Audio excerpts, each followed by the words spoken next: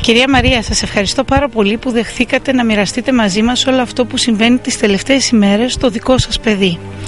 Θέλω να μου πείτε αρχικά πώς καταλάβατε ότι κάτι έχει συμβεί στον μικρό σας το γιο. Όταν μια μάνα και τι άλλο οι γονείς και οι δύο είναι πολύ κοντά στο παιδί τους, μπορούν με το παραμικρό να δουν οποιαδήποτε αλλαγή.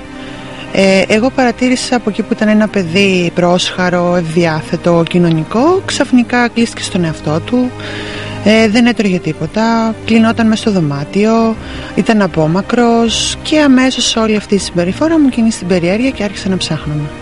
Ερχόταν κάποιες, κάποιες μέρες, ερχόταν κούτσενε, κάποιες ε, μελανιές στο πόδι του, ένα αιμάτωμα στο μάτι του και απλά μου έλεγε ότι γλίστρισα από ένα σκαλί και έπεσα, φοβόταν να μου μιλήσει, ντρεπόταν.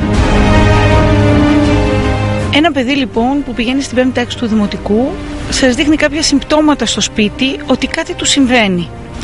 Πώς μπαίνετε στη διαδικασία να εκμεύσετε από το παιδί τι του έχει συμβεί; Το πλησιάσαμε ακόμη πιο κοντά, τον καλοπιάσαμε ώστε να μην δημιουργηθεί φόβος ότι θα του μαλώσουμε, ότι θα τον βάλουμε κάποια τιμωρία, κάτι που δεν ίσχυε βέβαια τις άλλες φορές ε, και απλά μας εκμυστηρεύτηκε το τι ακριβώς συνέβαινε. Το παιδί λοιπόν πηγαίνει στο σχολείο. Το παρενοχλούν κάποια άλλα παιδιά κατά τη διάρκεια του διαλύματος, το χτυπούν. Υπάρχει μια καταγγελία ότι συνέβη κάτι πολύ σοβαρό, μια κακοποίηση του δικού σας παιδιού στο χώρο του σχολείου. Έχει γίνει από παιδιά της τάξης του; Ε, όχι, μεγαλύτερης τάξης. Σε κάποια συγκεκριμένα διαλύματα και τις περισσότερες φορές προσπαθούσε βέβαια και ο δικός μου να πάει να κρυφτεί για να αποφύγει να μην τον βρουν τα άλλα παιδιά και να αποφύγει την κατάσταση αυτή. Έγινε στον εσωτερικό χώρο του σχολείου. Μιλάμε για τις τουαλέτες του σχολείου αν δεν κάνω λάθος. Ναι. Εκεί λοιπόν το δικό σας το παιδί υπέστη μια κακοποίηση, μια βάναυση κακοποίηση από πόσα παιδιά; Τρία. Από τρία παιδιά. Αληθεύει ότι είναι αγόρια και κορίτσι; Ναι. Όταν πλέον συνειδητοποιείτε ή μαθαίνετε από το ίδιο το παιδί τι έχει συμβεί; Μία φορά ή περισσότερες από μία; Περισσότερες από μία. Τι κάνετε στη συνέχεια, αντιλαμβάνομαι ότι είναι μια απόφαση την οποία πρέπει να πάρετε ως οικογένεια για το πώς θα το αντιμετωπίσετε αυτό. Σε καμία περίπτωση δεν θα το απέκρυπτα. Πήγα κατευθείαν, πήρε την νόμιμη οδό, έκανα τις καταγγελίες μου και φυσικά το δημοσιοποίησα μόνο και μόνο για να προστατευτούν και τα υπόλοιπα παιδιά του κόσμου.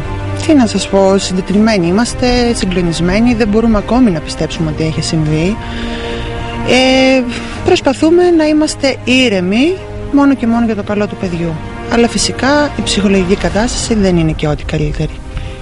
Το παιδί συνεχίζει να πηγαίνει στο σχολείο; Όχι στο ίδιο, έχει, έχει αλλάξει σχολείο. Αναγκάστηκε δηλαδή το δικό μου το παιδί να φύγει. Αισθάνεται εξ αρχής άσχημα που έφυγε από το σχολείο γιατί έχασε τους φίλους του και μου λέει ότι γιατί να φύγω εγώ και όχι τα παιδιά που μου κάνανε αυτό που μου κάνανε.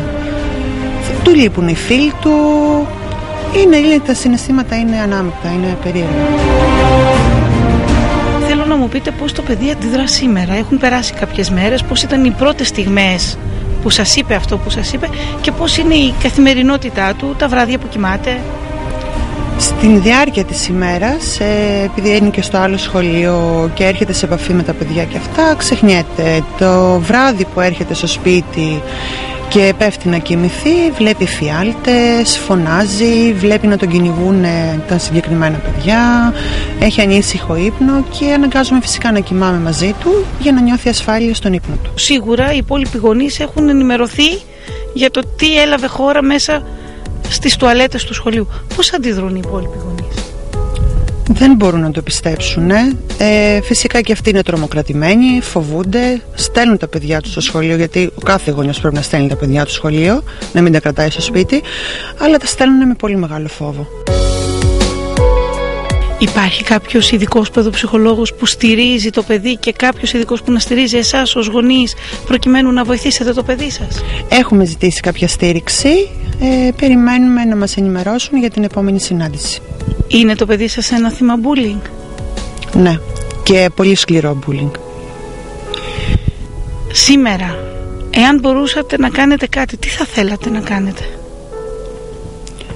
Να προστατέψω τα υπόλοιπα παιδιά, τα παιδιά τα, των άλλων οικογενειών, βγάζοντας αυτό δικό μου γεγονός στη δημοσιότητα. Είπατε λίγο νωρίτερα μια χαρακτηριστική φράση που σας είπε ο γιος σας σήμερα το πρωί τη στιγμή που αναγκαστήκατε, τον πηγαίνετε στο καινούριο του σχολείο. Ποια ήταν η φράση που σας είπε; Ότι μόνο ο Θεός ξέρει τι τράβηξα εγώ εκεί μέσα.